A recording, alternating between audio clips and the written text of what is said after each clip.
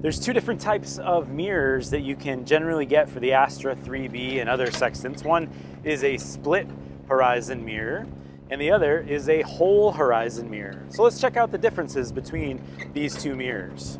First up is the whole horizon mirror, which uses specially coated optics to superimpose an image of a celestial body and the horizon. The second type is the traditional split horizon mirror, which has half of it silvered and half of it clear. So for this demonstration on the whiteboard, I've got a little planetary body, a sun or a moon or something, and a horizon so we can see the difference between the two mirrors. Also, trying to film this so you can see it, there's a couple of artifacts that may show up. Uh, so please, no comments about the, uh, you know, the side error and refraction and everything. For example, I'm taking the telescope off so that I can put the GoPro on. As you can see here on the left, the whole horizon mirror gives a uh, superimposition of the horizon and the body, whereas the image on the right is split and it's very faint, but you can see the reflected image as well on the left side there.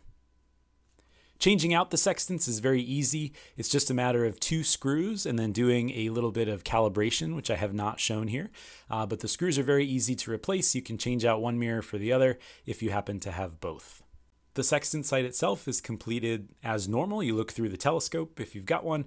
Out at the body, you bring it down to the horizon until it is just touching the horizon, and um, you rock it back and forth to make sure that you've got it exactly correct.